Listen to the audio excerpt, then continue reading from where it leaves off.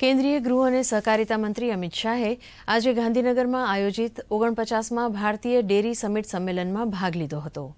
આ સંમેલનને સંબોધન કરતા અમિત શાહે જણાવ્યું હતું કે વર્ષ ઓગણીસો સિત્તેરમાં ભારતમાં દૂધની ઘટ વર્તાતી હતી અને આજે વર્ષ બે હજાર બાવીસના આંકડા મુજબ ભારતનું દૈનિક દૂધ ઉત્પાદન અઠ્ઠાવન કરોડ લીટર સુધી પહોંચ્યું છે.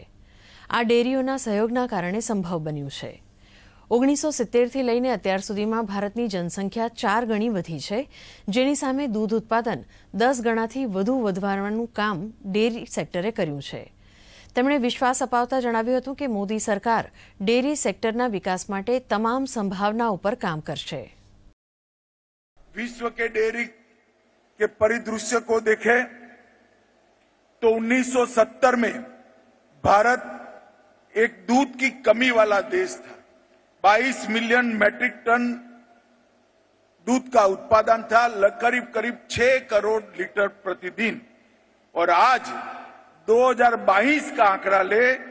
तो 6 करोड़ प्रति लीटर अ, 6 करोड़ लीटर प्रतिदिन से बढ़कर अट्ठावन करोड़ लीटर तक पहुँचने का काम ये डेयरी सेक्टर ने किया है जो बहुत बड़ी उपलब्धि ये 70 से लेकर 22 में भारत की जनसंख्या में चार गुना बढ़ोतरी हुई है हमारा दूध उत्पादन चार गुना आबादी बढ़ी है और दूध उत्पादन दस गुना से ज्यादा बढ़ाने का काम हमारे डेयरी सेक्टर ने किया है આદરણીય વડાપ્રધાન શ્રી નરેન્દ્રભાઈ અને સહકારિતા મંત્રી અમિતભાઈ શાહે સહકારથી સમૃદ્ધિનો મંત્ર આપ્યો છે એ મંત્ર સંતુલિત ડેરી ઇકોસિસ્ટમના નિર્માણથી ગુજરાતમાં સાકાર થઈ રહ્યો છે.